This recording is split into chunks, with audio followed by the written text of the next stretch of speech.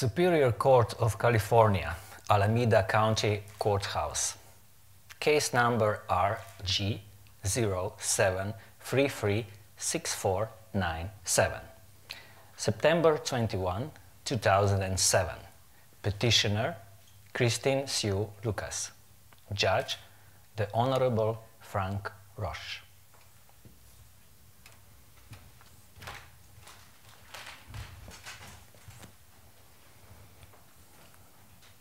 Kristin Lucas.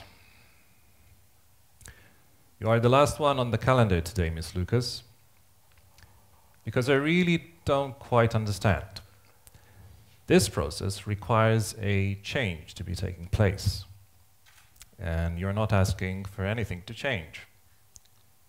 You're asking for this order that to you stays the same. I have prepared a brief statement um, to read to the court, if I may. You may. Okay. Your Honor, I am here for a refresh, a renewal of self. I consider this act to be a poetic gesture and a birthday gift. I am ready for an update, an intervention into my life. I am here to be born again as myself, at the very least, the most current version of myself.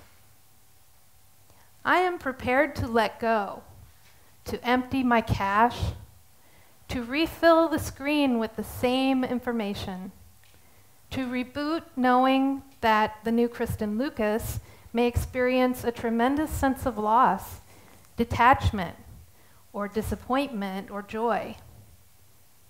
Kristin Lucas is ready for change, and Kristin Lucas awaits her replacement.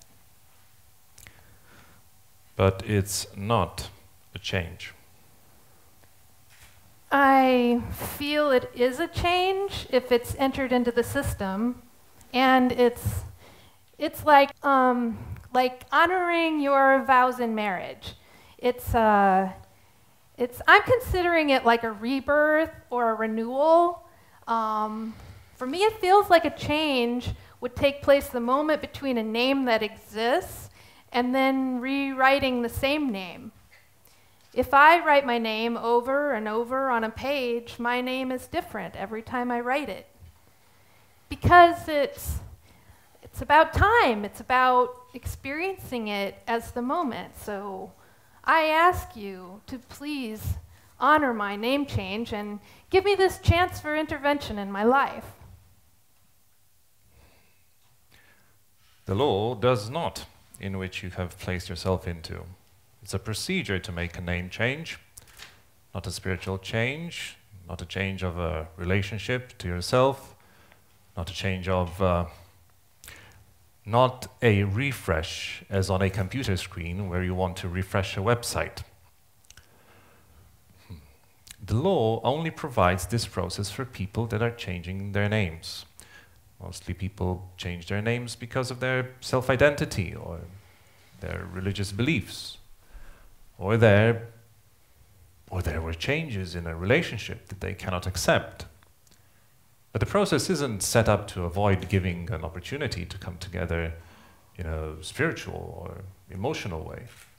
Or just everyday affirmation of self is also what I had in mind.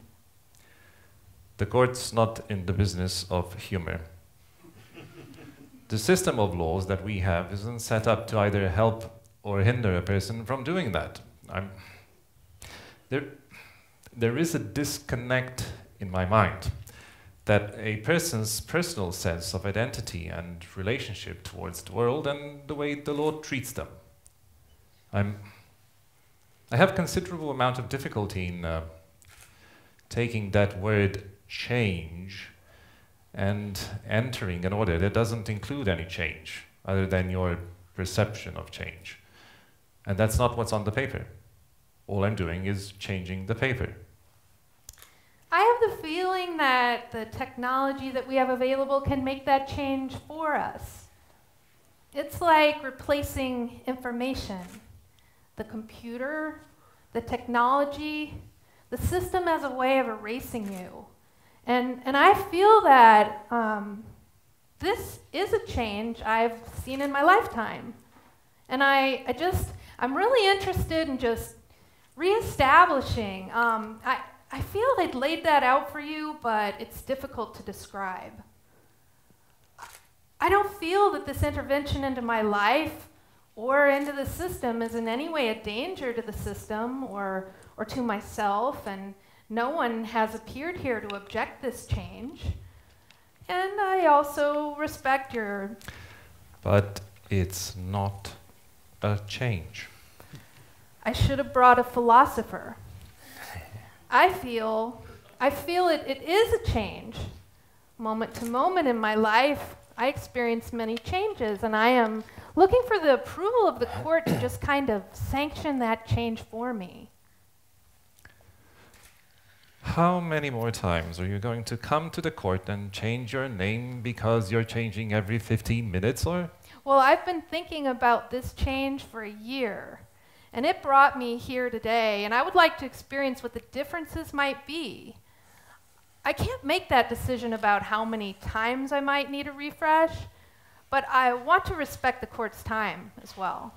Well, And I'm not here to abuse the system. I, I, I don't think that you are. Okay, thank you. And I don't mind the time. I just don't know that I have the legal authority to change your name when it's not a change. The code sections talk about changing. Can I give you an order that doesn't change your name at all? That keeps your name the same? Is that the same as granting a name change? And I think not. And I'm going to do this. I'm going to continue this matter for two weeks and try to think about these issues in this time. Thank you.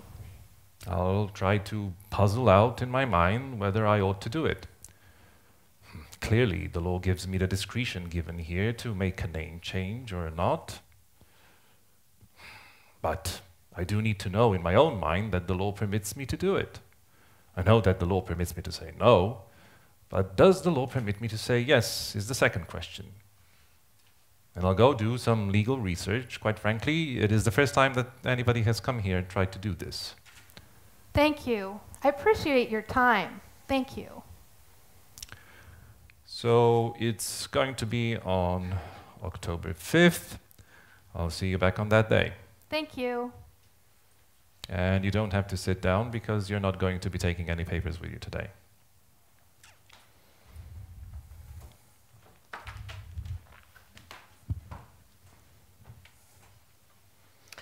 Superior Court of California, Alameda County Courthouse, case number RG07336497, October 5th, 2007. Petitioner Christine Sue Lucas, Judge the Honorable Frank Roesch.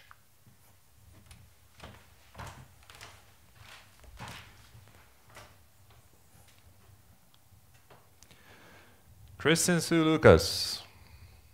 Well, I must say that I spent probably way too much time thinking about this situation. I think it's a nutty idea.